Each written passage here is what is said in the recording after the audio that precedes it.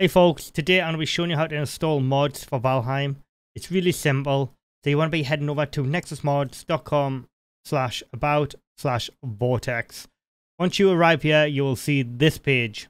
If you're not already registered with Nexus Mods, go ahead and register by just clicking the register button. I've already done it. It takes about two minutes. Okay, now that you're signed in, you want to be back on this page, nexusmods.com slash about slash vortex. You want to be clicking on this. Click download the latest version now. So you click that and it'll bring you to this page.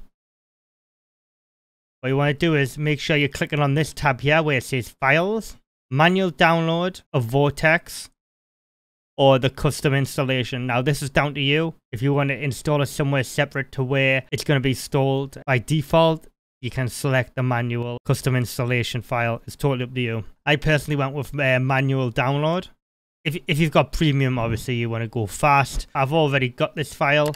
Once you have the file downloaded, you'll have this file here. You just want to double click it and install it. I'm not going to go through that process because I've already got it installed. Okay, so once you've installed Vortex from the Nexus Mod Manager website, like I showed you, you want to be going over to the game section on the left hand side where it says search for a game.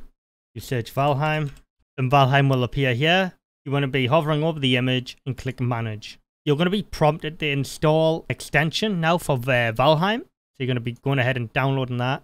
Vortex will restart. Now it's going to tell you that you need to download some more files for unstripped assemblies. You want to be clicking that and a new, uh, new Nexus mods page will open up for you. You want to just click on the files tab, go down to mod manager download, click that, click slow download if you've got free, fast download if you've got premium. If it doesn't download automatically, you can just click here and then it'll do it for you. Now this is telling me I've already got it because I've already got these installed, but I'm going to go ahead and overwrite everything. This green box up here, once you've downloaded it, you just want to click install. I want to update all my profiles. You won't have to do that if you haven't got it installed already. And then you just want to go ahead and enable.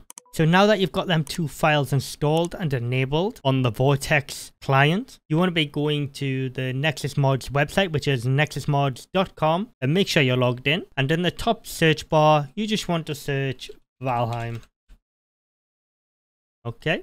And then this is going to bring up all of the Valheim mods. So I'm just going to go ahead and click the magnifying glass.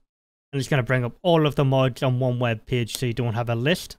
I'm going to pick some ones which I like. So once you found a mod that you want, I'm going to install, reinstall the Better UI mod. Now go ahead and click that and then go to files.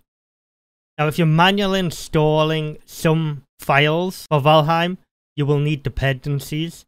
So if you click on requirements, it'll tell you them that you need BepInEx. But this is for if you're manually downloading, you should have BepInEx. I'm not going through the manual install process. I'm going through the mod manager. So we're going to go ahead and download.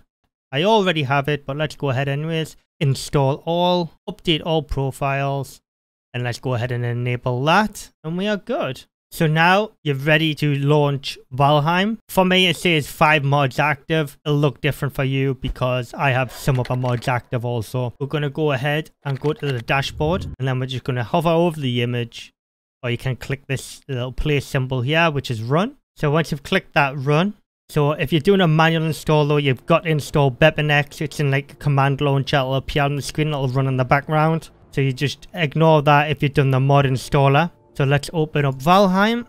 So now you're going to start seeing a couple of things different. First of all, on my main survival world, zero PvP kills because it's not a PvP world. I've had 14 deaths. I've crafted 1,1257 items.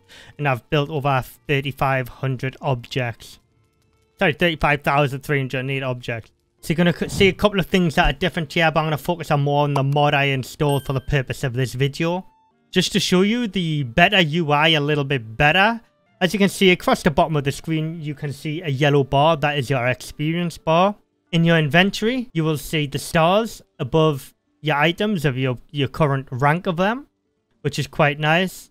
So let's just recap what we've covered here for installing the mod. You've signed up to the Nexus mod website. You've downloaded Vortex from the Nexus Mods website. Then you've installed the required files you need. And now, for the purpose of this video, you've installed Better UI, which requires you to install Bepinex, which automatically installs with the Nexus mod manager. But if you're using manual, you have to manually install Bepinex, which I haven't covered in this video. I've only covered using the Nexus mod manager. If you found this video helpful at all, leave a like on the video, comment down below, and subscribe to the channel.